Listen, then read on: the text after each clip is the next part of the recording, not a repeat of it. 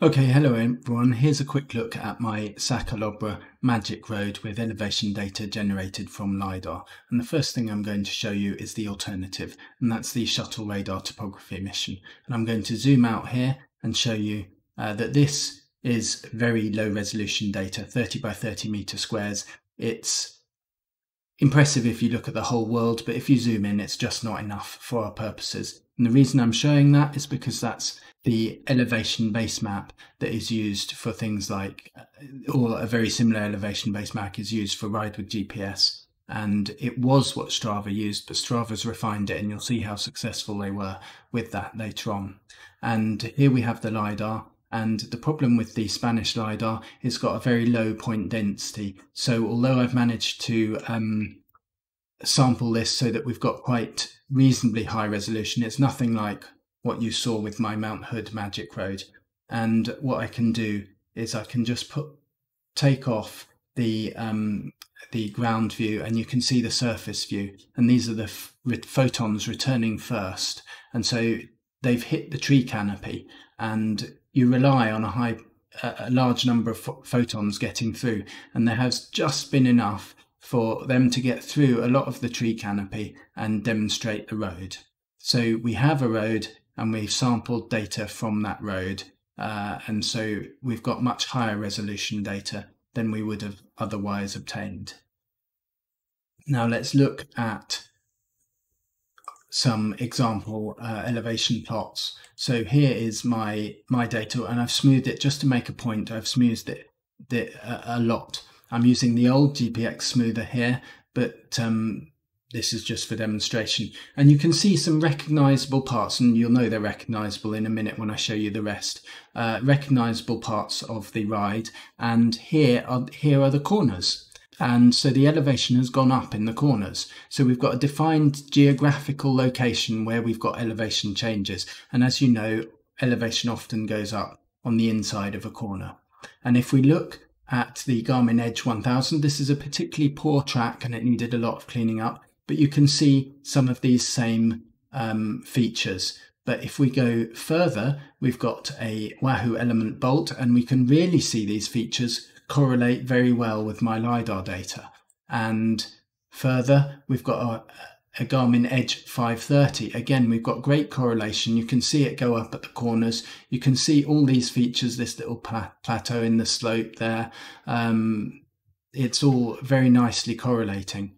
If we look at Ride with GPS, using that low resolution elevation base map, it's all over the place. It's it's not really recognizable as the Sa Calobra ride. Whereas you can see that I've got my LiDAR data and I've got three other de- devices that, that correlate pretty well. And I've got correlation with defined geographical points. Um, are there artifacts that I've introduced? Yeah, there may well be. For example, if you go down through a dip in the road or over a little hump on one side of the road. Sorry, if the lidar has has I've sampled a bit of lidar that uh, data that's that's gone over that. Um, the Magic Road is obviously a big road, but I've just sampled a very fine track, so you'll get this bar across the road. You won't really see any of those, many of those, um, only if you know they're there.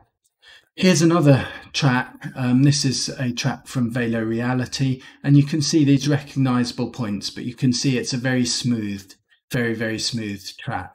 Um, and here is Strava.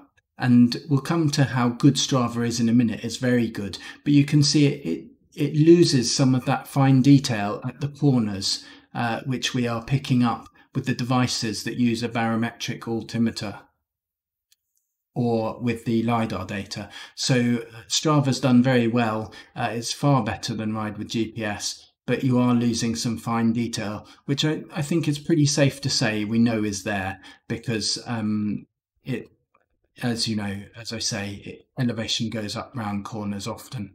And uh, these are defined points that we're seeing this change on several set devices.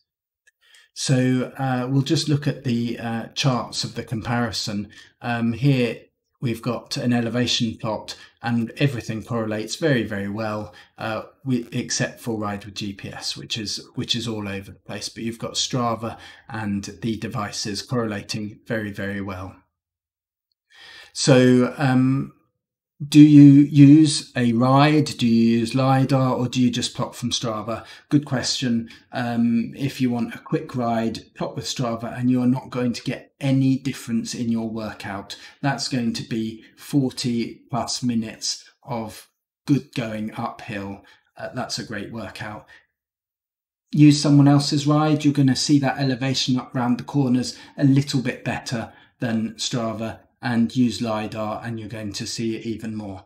There are areas in the LiDAR data which are missing here. For example, that's where the photons can't get through because there's rock in the way. That's There's a very narrow opening in the rock above there and um, there's overhanging rock here. So these are areas where you just won't see the road. Um, but with just some linear interpolation across there, uh, results in in very reasonable data because actually if you take your Strava uh, plot and I can't see my Strava plots here um, you end up with points spaced pretty far apart. So there's interpolation between that anyway. So um, that's uh, that doesn't detract from our route. So there's only one other thing to say and that's the corners are very tight on this road. The as you saw the the LiDAR data is not as good as the LiDAR data that we had for Mount Hood, for example, or for um, Box Hill in the UK. Um, so I'm really constrained about where I can sample, and the corners are very tight. And if I open out those corners, I will change the elevation. I'll put in the text of this comment as well, because I think it's important to know that. Um, if you have one meter between points and you have 20 centimeters elevation gain, uh, move those points by 20 meters apart, and you change the the, the grade from 20% to 16%. And you could say, well, why don't I use points further apart? Well, of course, you're going to have to interpolate between them and you'll you'll get a track looking a bit more like Strava. Again, doesn't change your workout, uh, but it's just nice to have something uh, something here. I can't guarantee how it will work on Magic Roads too, but here it is. Enjoy the ride.